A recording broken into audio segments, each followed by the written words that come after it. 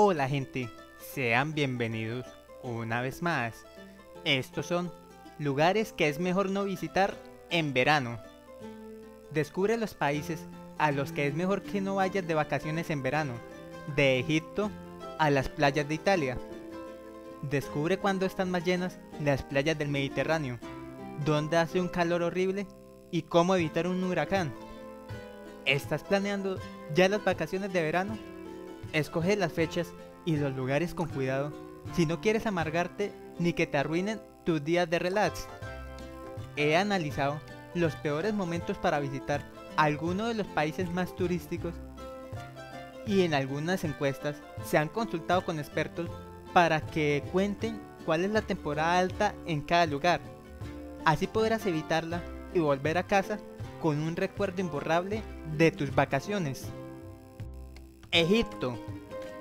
De junio a agosto, Egipto se divide en dos países. Uno es el costero, donde el clima es más temperado. El segundo es el Egipto continental, donde las temperaturas superan los 40 grados. Viajar durante estos meses a Luxor o Asuán o incluso dar un paseo por las calles polvorientas del Cairo puede ser todo un reto. Además, viajar a lugares remotos como el desierto de Farafra es virtualmente imposible. Así que si lo que buscas es unas vacaciones de mar y sol en Shar, el Shade es buena idea ir a Egipto en verano. Pero si entra en tus planes muerte mucho por el país, quizás lo mejor es que lo dejes para el otoño. Emiratos Árabes Unidos. El verano es la peor estación para visitar Dubái. En julio y agosto, las temperaturas pueden llegar a los 49 grados y la temperatura del mar en verano superará tranquilamente los 30 grados, pudiendo llegar en agosto a los 37. Nadar en el agua salada en esas condiciones puede ser como sumergirse en aceite hirviendo. Ah, y no olvides que el sol alcanza el máximo de 11 puntos de radiación UV durante los meses de verano en Dubái. Jordania. El desierto del Guadirún y la antigua ciudad de Petra son los motivos principales de muchos viajeros para visitar Jordania. Para disfrutar de estos lugares tendrás que andar mucho, y en verano, con temperaturas cercanas a los 40 grados, puede ser, además de agotador, peligroso para tu salud. El clima de Amán es normalmente más templado, pero hace un par de años en agosto tuvieron dos semanas con más de 45 grados.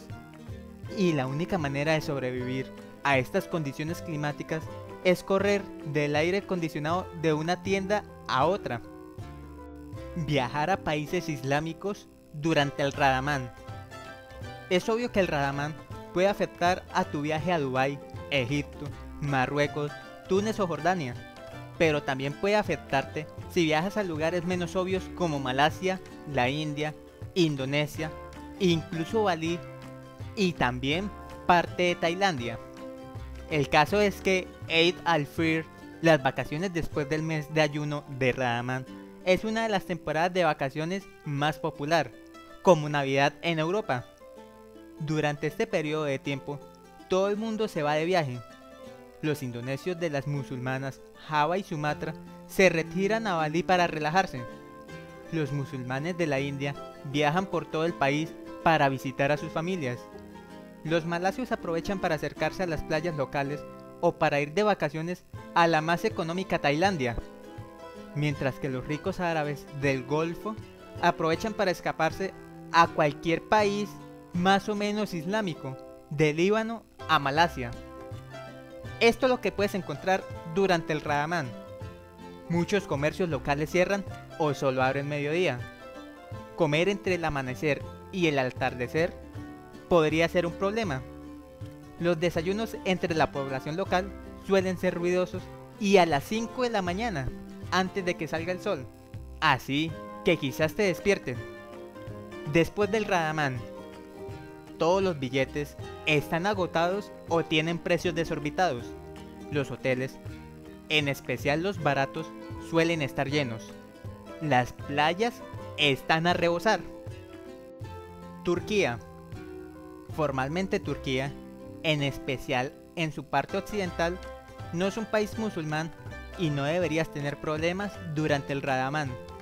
Pero nueve días después del Ramadán es justo cuando no querrías estar en el país. En esta época los hoteles suben de precio, la mayoría de billetes para viajar están vendidos y en las playas no se puede estar de lo llenas que estarán. El Caribe. El momento álgido de la temporada de huracanes en el Caribe es en agosto y septiembre. Afecta a países que van de México y Cuba a Curacao y la isla de Grenada. Según las estadísticas, en este periodo hay entre 10 y 12 tormentas en las que los vientos alcanzan los 60 km por hora. La mitad se convierten en huracanes con una velocidad de viento de 120 km hora. Un solo huracán podría convertirse en un verdadero desastre. Estadísticamente las posibilidades de que haga muy mal tiempo no son demasiado altas y posiblemente podrías pasar todas las vacaciones tomando el sol. Pero por si acaso, contrata un buen seguro de viajes que cubra retrasos y cancelaciones de vuelos debido al mal tiempo. Y quizás te interese más ir a la zona sur del Caribe, ya que la mayoría de los huracanes suelen azotar más las partes más al norte de la región. India. Las lluvias pueden arruinar tu viaje en verano en la India central. La estación del monzón en el sureste asiático es normalmente bastante llevadera, pero en India puede ser un desastre total. Las lluvias pueden llegar a ser tan intensas que borran carreteras. Por ejemplo, las lluvias prolongadas provocan cada verano inundaciones en la ciudad turística de Jodhpur, en el Rajasthan. Además, durante el monzón, los ríos pueden desbordarse y esto afecta a cualquier tipo de viaje a las ciudades populares que están a la orilla del Ganges, de Rishikesh a Varanasi. Italia. En cuestión de tiempo, Italia es un destino perfecto para visitarlo en verano. El único momento en el que puedes tener problemas es alrededor de la mitad del mes de agosto.